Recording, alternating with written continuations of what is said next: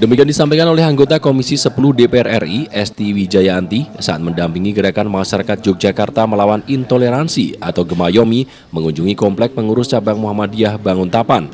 Menurut Esti, kasus kekerasan yang menyinggung dan mengatasnamakan agama yang dewasa ini terjadi di DIY merupakan aksi provokasi yang dilakukan oknum tak bertanggung jawab untuk memecah belah masyarakat di DIY. Karenanya upaya-upaya provokasi ini harus diimbangi dengan komunikasi yang lancar antar anak bangsa sehingga tidak mudah terpancing dengan upaya-upaya tersebut. Gemayomi sebagai wadah dari puluhan ormas yang menolak intoleransi siap menjadi motor penggerak bagi perwujudan Jogja City of Tolerance.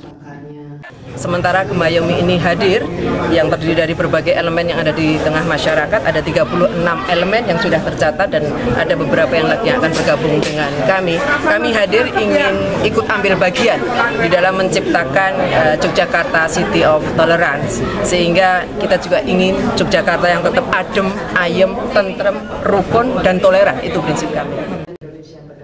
Esti juga mengharapkan agar masyarakat kembali menghidupkan Hiskamling. Selain sebagai upaya menjaga stabilitas Kamtipmas di tataran lingkungan, Hiskamling dirasa mampu menjadi sarana interaksi antar waria masyarakat sehingga bisa menjadi sarana perekat kerukunan di sebuah wilayah. Anang Zainuddin, Jogja TV.